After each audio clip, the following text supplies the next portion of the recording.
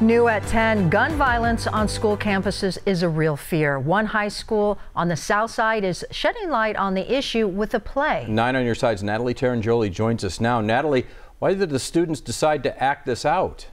Pat Valerie, well, they wanted to take you through the process to see what kids go through during a lockdown drill or worse, an actual school shooting. The play is called Lockdown by Douglas Craven. The scenes that follow school shootings have become all too familiar. The school should be a place where we feel completely safe, which it's not anymore, which is sad, but it's the truth. What's not as widely seen are the lockdown drills schools hold in preparation for the worst. But Desert View High School wanted to bring attention to what it's really like inside a classroom when a school is on lockdown. Everyone always likes to say like, oh, I would do this, I would do that, but you never know what you do until you are in that situation. The theater department put on a play on a topic that the students felt like they could relate to. It started out as a lockdown drill. But it gets to a point where, oh, gee, is this, a, is this just a drill or is this a real lockdown? What if it's real?